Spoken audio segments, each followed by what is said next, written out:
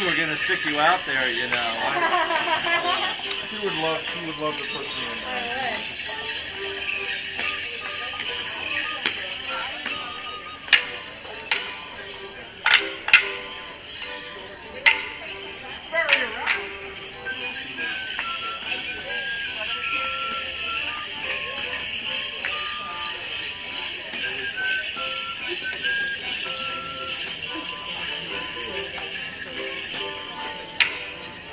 Oh,